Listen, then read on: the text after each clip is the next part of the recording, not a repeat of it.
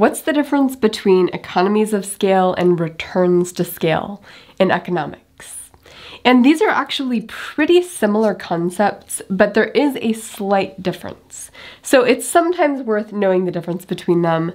Economies of scale is going to be the concept that when you increase production by producing more of something, that makes production more efficient. And behind this is the notion that as companies get larger and larger and larger, those companies can produce things more cheaply. That's the basic idea. Now, returns to scale is a little bit more technical of a concept, and it's going to relate to how we construct production functions and whatnot. The idea behind returns to scale is that if you double the inputs into your production, you more than double the output. And of course, double isn't a magic thing. Um, this can exist on multiple scales. Like if you triple the inputs, you more than triple the outputs. If you multiply the inputs by 1.5, the total number of outputs you produce is more than 1.5 times what it was before. So of course, if this is happening, then you're getting cheaper as the company is getting bigger and producing more. So it seems at first blush like these two are the same thing.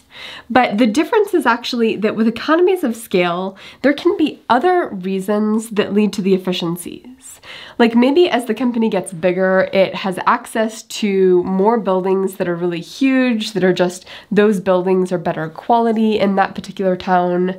Um, it could be that as you get bigger and bigger and bigger, uh, you can collaborate with other big players and collude with other big players in a way that you couldn't if you were a small company. So all of that stuff has nothing to do with just increasing the number of workers and the number of computers and the number of um, plastic things that you're putting into your product.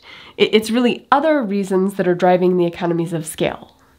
Whereas economies of scope, it's very technical. It's just if you double the number of workers, double the number of computers, double the amount of plastic that you're pouring into this product, what happens to um, the amount of output.